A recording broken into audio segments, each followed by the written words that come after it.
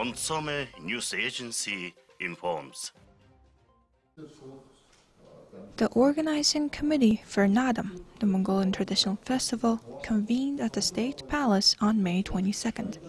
Members of the committee concluded that this year's Naadam Festival, commemorating the 2229th anniversary of the foundation of the first Mongolian state, 814th anniversary of the founding of the Great Mongol Empire, and the 99th anniversary of the Mongolian People's Revolution, should be celebrated in an updated format in light of the current situation caused by COVID 19. Due to the ongoing heightened state of readiness against COVID 19, it was not clear whether the big public celebration would take place.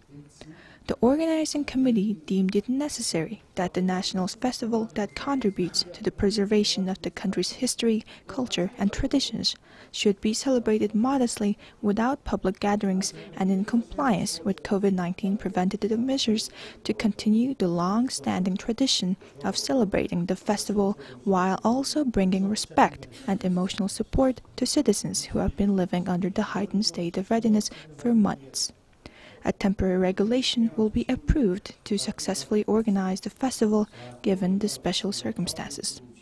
This year's festival includes the State Grand Honoring Concert at the Cultural Palace of Ulaanbaatar on July 10th and placement of the nine white banners at the Central Stadium, festival opening remarks by the President of Mongolia, and the grand opening concert on July 11th.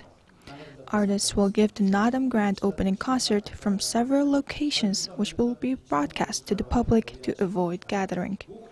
Naadam wrestling, archery, and knucklebone shooting tournaments and horse races will be held as usual, except every participant of the tournaments and tournament organizers will have to be tested for COVID 19. Festival celebrants will enjoy the festivities via the internet, TV, or radio, and there will not be any market stalls around the central stadium and Rue de